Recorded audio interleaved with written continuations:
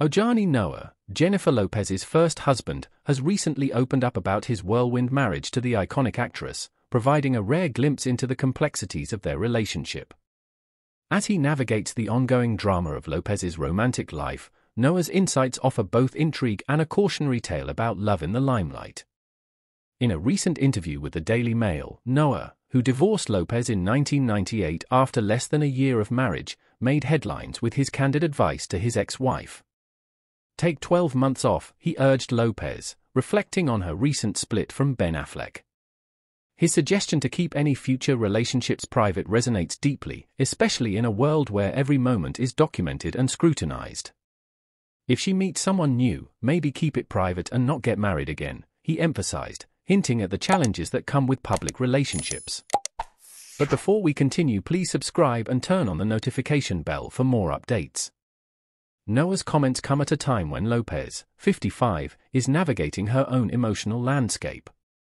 Just days after his interview, she was spotted enjoying brunch with Affleck, 52, despite their ongoing divorce proceedings. Witnesses reported the couple sharing affectionate moments, leading to speculation about their future. Yet, according to sources, they are still moving forward with their split, highlighting the complexity of modern relationships. Reflecting on his marriage, Noa noted the pressure of being in a public relationship. He described the tension of pretending everything was fine during public appearances, even when they were experiencing personal turmoil. You can only pretend so much, he admitted, revealing how the constant media attention impacted their dynamic.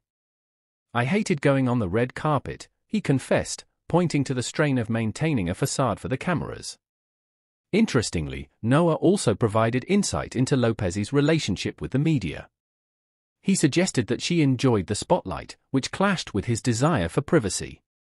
You can't be real in a relationship if you're always being photographed, he remarked, a sentiment that echoes the struggles many celebrities face in balancing personal and public lives.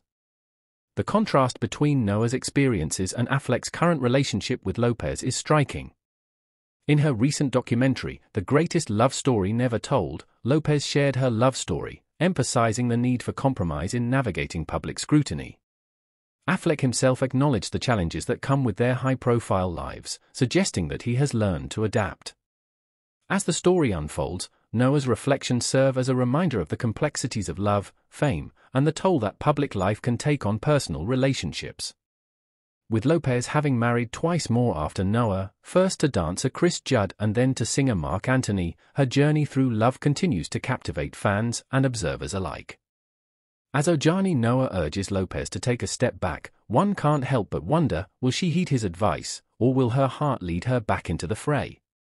In a world where love stories are played out on a grand stage, the lessons learned can be as valuable as the romances themselves.